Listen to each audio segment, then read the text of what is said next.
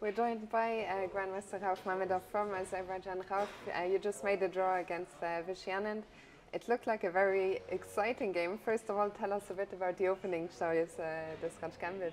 Yeah, it was ridiculous because uh, at the night I was thinking what to play because I know Vishy Anand is Anand, but first of all I want to play Berlin. After I see no, no quick draw. It's not good in the team competition because we have youngsters, so I should do pressure. And at the moment, I have idea to play this line. And very ridiculous moment when I check this and he play rook e8. I know, I was sure he will play rook e8 because Kramnik play rook e8 against Kovalev. And I didn't check after. I only know one move, but queen d4, uh, engine didn't give. And maybe some way I should be not change the queens because he has this h6, g5, I missed this. Um, I, I was thinking I was better, but, but okay. You, had a chat with Vishy and also with his team captain Ivan after the game. What did they say? We talk about the game, and I say to him to, I was sure you play like Kramnik. and he said he remembers this because it was in Dortmund. Yeah.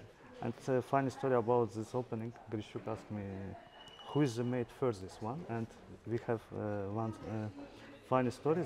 Uh, it's my file from 1990. Yeah, it's, it's Khalifman file from 32 years ago. So. Wow. So I like play this as coffee house chess. but of course, if I will win, I will be very happy. But okay, the draw is not, not bad. Of course. Let's talk a little bit about your team. As you mentioned, well, you're playing here for uh, the Vugar Gashimov team, and you're a team of youngsters. Can you tell us a bit uh, about your team? Yeah, we started this team two years ago. Team, uh, and this uh, our guys was three years, uh, and we started with Sarkhan Gashimov uh, about Vugar memory, uh, our famous grandmaster, and it was very good first year. We start fourth fourth. Uh, we won four matches, and we was very good. And uh, says we should be continued. And last year we was third. And uh, unfortunately, last years we didn't have so much youngers like Shahriar, uh, Timur. But these guys, I hope we will be to 700 in one day because this, uh, we have also we we have also Suleymanli, if you know. He played, but unfortunately for us, he Mhm. play in the Poikovsky now. But I think these guys will be some in one day will be playing. Our team will be change me and else. Maybe not Shahriar, but me for sure maybe. Fantastic. Well, we'll we make sure to, to follow their progress? Uh, final question, just how are you liking it here in Mayrhofen? A- amazing.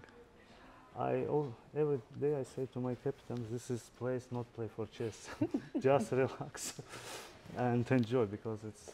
I didn't remember so, such a nice place in chess tournament. Uh, of course, mm, Struga was good last year, Montenegro was good, but this is amazing. This is unbelievable place.